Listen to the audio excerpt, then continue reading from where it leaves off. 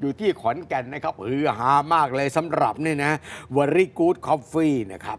ปรากฏว่าวันนี้นะครับทำเมนูออกมาหน้าตาแบบนี้อุ๊ยลูแซ่กบเพจนะขอมาแล้วตำให้เลยครับ อะไรอะตำสารพัดเลยคุณเดชาเหมือนรเนี่ถยช่องเลยนะคะเดี๋ยวเนี่ยครับจะให้ดูว่าตำอะไรตำลอดช่องเออเห็นไหมจริงๆตัวเขียวด้วยเขียวเนี่ยลอดช่องไว้คุณนี่นะนึกว่าพริกไม่พอเท่านั้นเองนะครับนี่นะ โอ้ลูกชิดเหรอโอ้ยดีนะครับ ลูกอะไรสีอะสี ไข่มุกไข่มุกไข่มุกนี่อ๋นะอที่ใส่ชานะเออใช่ใช่ใช่นี่ใช่เฉาก้วยโอ้นี่เฉาก้วยก็มีเอาใส่นะครับน้ำแข็งเข้าไปอีกเอ้านี่เอาเอาก็ตำน้ำแข็งก็ตำได้ครับ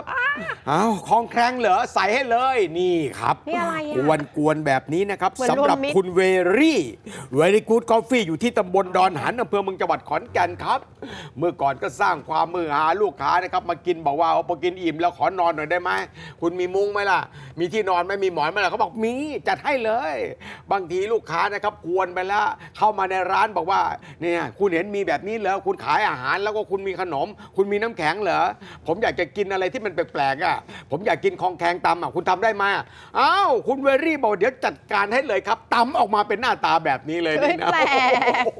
ใส่น้ำแข็งอีกเอ้าของหวานก็กลายเป็นของคาวได้ คุณเออเวรี่คนสวยอุ๊ยทำไมบอจากนว่าใหญ่นะครับนี่นะอยากจะตอบโจทย์ของลูกค้า ลูกค้าบางทีนะครับ ก็หัวเราะมากวนมากวนประสาทด้วยก็นะแม่ค้าสวยเราก็อยากไงทำให้เลยคุณนะเออโอ้สงสัยแม่ค้าสวยแซวพูดดีอะแหละเออเออแต่โอ้โหเนี่ยพูดยั่วพูดยวนเหรอใช่ทำให้เลยครับ ปรากฏว่า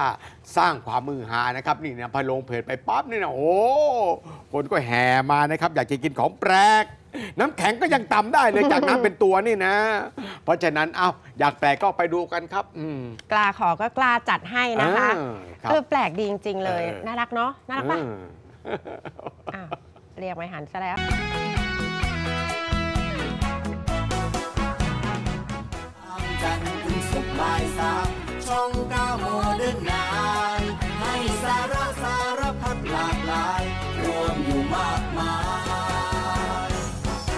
không muốn mãi xa mồ.